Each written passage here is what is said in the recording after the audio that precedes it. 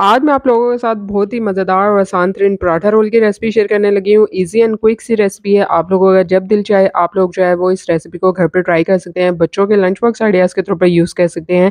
इसमें जो मैंने चटनी इसकी रेडी की है ना स्पेशल किस्म की, वो बहुत ही मज़ेदार और यूनिक सा फ्लेवर होता है। आप लोग ज़रूर ट्राई कीजिए। बाज़ार की नस्बत जो है, ये बहुत बेहतरीन घर पर बन सकता है। अस्सलाम welcome to my YouTube channel Kitchen with Sam तो यहाँ पे जो है मैंने 250 ग्राम चिकन ले लिया है बोनलेस चिकन है और इसके जो है क्यूब्स में कटिंग हुई हुई थी। साथ ही अब हम इसको पहले तो मैरिनेट करने का काम कर लेते हैं। तो यहाँ पे जो है मैंने इसमें हाफ़ टी स्पून जो है वो नमक डाल दिया है। सबसे पहले मैंने क्या किया था कि लहसन के दो क्लोव्स लिए थे और उनको जो है ग्रेट करके इस तरह से इसमें डाल दिया था। अगर आप लोग जो है वो लहसन पाउडर ईजिली अवेलेबल है तो वो भी यूज़ कर सकते हैं। यहाँ पर जो है मैं फ्रेश गार्लिक का यूज़ कर रही हूँ। साथ ही मैंने इसमें जो है वो आधा चम्मच गुटी हुई लाल मिर्च डाल दिया, आधा चम्मच नमक डाल दिया है। थोड़ी-सी मैंने इसमें हल्दी पाउडर भी ऐड किया है और साथ ही मैंने इसमें हाफ़ टी स्पून धनिया पाउडर डाला है, हाफ़ टी स्पून मैंने इसमें ज़ीरा पाउडर डाला है।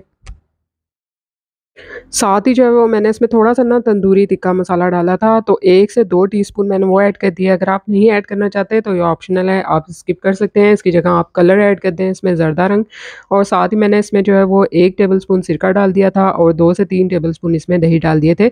सिरका अगर आपके पास नहीं है तो आप लेमन जूस का इस्तेमाल भी कर सकते हैं। इन सारी चीज़ों को अच्छे से मिक्स करना है, मैरिनेट होने के लिए रख देना है तकरीबन 15 से 20 मिनट के लिए इसको कवर करके। अब यहाँ पे जो है वो चिकन को रख दिया है मैरिनेट होने के लिए तो साथ ही जो है हम आटा गूँध लेते हैं। एक कप के बराबर मैंने इसमें गंदम का आटा लिया है और एक कप के बराबर मैंने इसमें मैदा लिया है। तो मैं फूल जो है वो मैदे का इस्तेमाल नहीं करी। आप लोग चाहें अगर सिर्फ़ मैदे से बनाना चाह रहे हैं तो आप दो कप जो है वो टोटली मैदे का ले सकते हैं। यहाँ पर आटे का इस्तेमाल ना कीजिए। अगर आटे का बनाना चाह रहे हैं तो आप जो है वो दो कप आटे का भी ले सकते हैं। तो यहाँ पर जो है इसको अच्छे से मैंने छान लिया था, मिक्स कर लेना है और फिर कुछ चीज़ें हमने इसमें मज़ीद ऐड करनी है। तो यहाँ पे इसको हमने अच्छे से मिक्स कर लेने के बाद मैंने इसमें जो है वो नमक ऐड किया था। नमक तकरीबन हमने जो है वो हाफ़ टी स्पून इसमें ऐड कर देना है और साथ ही मैंने इसमें जो है हाफ़ टी स्पून चीनी भी ऐड की थी और इसके साथ ही दो टेबल स्पून हमने इसमें ऑयल डालना है।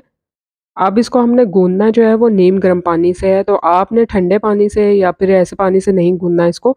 इस तरह से सॉफ्ट नहीं गूंदेगा और अच्छे से पराठे नहीं बनेंगे इसके सॉफ्ट से। तो देखिए, यहाँ पे मैंने इसमें तेल और नमक और चीनी डाल दी थी। थोड़ा-सा मैंने इसमें क्या किया है, नीम गर्म पानी लिया, वो ऐड करना है। अच्छे से पहले हमने इन सारी चीज़ों को मिक्स कर लेना है और फिर हमने जो है, वो थोड़ा-थोड़ा पानी ऐड करके इसमें जो है, वो आटे को घूनते जाना है। एकदम से आपने सारा पानी नहीं ऐड करना। अच्छे से आपने इसको जो है वो गूँदना है और गूँदने के बाद जो है मैंने क्या किया था, इस, इसको जो है रख देना है। आपने तकरीबन 20 से 25 मिनट के लिए कवर करके कपड़े से आप ढाक के इसको रखेंगे। अच्छे से जो है वो हमने इसको सॉफ्ट सा जो है डो इसकी बनानी है और कवर करके रख दिया था मैंने इसको 20 से 25 मिनट के लिए। ऊपर आपने ऑयल लगा देना है ताकि इसके ऊपर जो है ना वो इस तरह से सख्त सी एक तैन आ जाए। अब यहाँ पे जो है, जब तक आटा और हमने चिकन मैरिनेट होने के लिए रखा हुआ था तो यहाँ पे मज़ेदार सी चटनी रेडी कर लेते हैं। मैंने दो से तीन टेबल स्पून धनिया लिया था, दो से तीन टेबल स्पून पुदीने की पत्तियाँ ली थी। उनको जो है, अच्छे से मैंने ब्लेंडर में जो है, पीस लिया था। यहाँ पे मैंने जो है, इस तरह से थ्री फोर्थ कप दही ले लिया था और तीन से चार टेबल स्पून इसमें मायोनीज़ ऐड कर दिया था। और साथ ही जो है, वो हमने पुदीना और धनिया की जो चटनी रेडी की थी ना, उसमें मैंने हरी मिर्च भी एक जो है, वो ऐड की थी। थोड़ा सा हमने इसमें नमक डालना है क्रश किया हुआ ज़ीरा पाउडर डालना है और ये चटनी हमने मिक्स करनी है। अच्छे से हमने इसको मिक्स करना है तो यहाँ पे मज़ेदार सी जो है ना वो चटनी रेडी हो जाएगी। तो ये स्पेशल किस्म की मैंने जो है वो फ्यूजन चटनी बनाई है। इसकी रेसिपी आपको किसी भी जो है वो और चैनल पे नहीं मिलेगी तो आप लोग जो है वो ज़रूर इस चटनी को जो है ट्राई कीजिएगा। बहुत ही मज़ेदार और लजीज लगती है। अब यहाँ पे चिकन को मैरिनेट किए हुए 20 से 25 मिनट हो गए थे और साथ ही अब मैंने इसको पैन में डाल दिया है। हमने जो है वो इसको इतनी देर तक कुक कर लेना है कि चिकन की बोटियाँ जो अच्छे से गल जाए और इसका सारा पानी जो है मॉइस्चर जो है वो ड्राई हो जाए। यहाँ पे देखिए चिकन अच्छे से डन हो चुका है। बोटियाँ जो हैं वो अच्छे से गल गई थी। अब हमने क्या करना है कि इस तरह से जो आटा मैंने गूंदा था थोड़ा सा इस पर जो है मार्बल पे हमने मैदा डस्ट कर लेना है और इसको जो है मैंने चार मुख्तलिफ़ हिस्सों में जो है डिवाइड कर लिया था। चार पेड़े बना लेने हैं हमने इसके।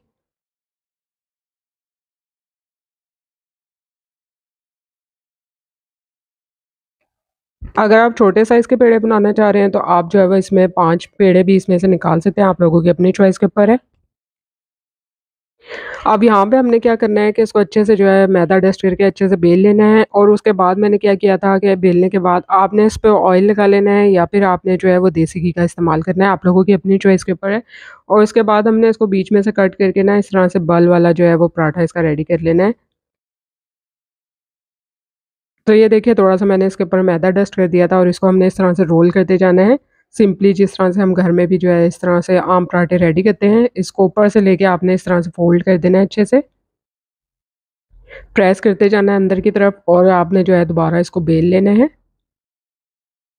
वन बाय वन इसी तरह से हमने रेडी करते जाने हैं सारे पराठे। तो देखिए, यहाँ पे मैंने तवे पे डाल दिया था, हल्का सा एक तरफ़ से जो है ना, इस तरह से बबल्स आ जाएँगे अच्छा सीख जाएगा तो ऑयल डाल दिया था या देसी घी, आप जो भी इसमें डालना चाहें। और आपने जो है, इसको बहुत ज़्यादा जो है, इस तरह से सेकना नहीं है, होगा क्या कि ये बहुत ज़्यादा सख्त होना शुरू हो जाएगा तो आपने इसको सॉफ्ट ही रखना है।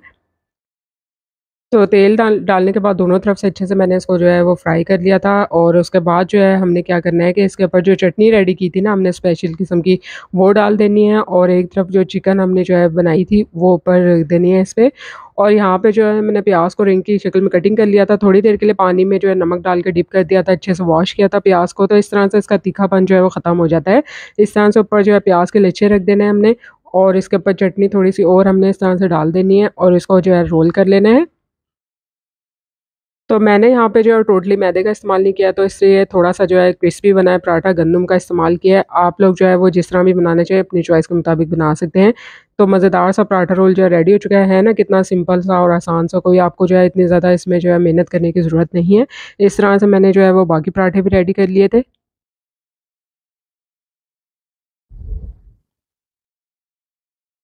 आप लोग जो है इस रेसिपी को ज़रूर ट्राई कीजिएगा। आप लोगों के लिए कोशिश करती हूँ रेसिपीज़ को जितना आसान और सिंपल बना सकूँ और बजट फ्रेंडली भी हों आप लोग ताकि इज़ीली इसको घर पर ट्राई कर सकें। उम्मीद करती हूँ कि आपको आज की मज़ेदार सी पराठा रोल की रेसिपी पसंद आएगी। रेसिपी पसंद आई है लाइक और शेयर करना बनता है, साथ-साथ चैनल को सब्सक्राइब कीजिए और वीडियो को ज़्यादा से ज़्यादा शेयर किया कीजिए। जल्दी मिलूँगी नई मज़ेदार रेसिपी के साथ। अल्लाह हाफ़िज़।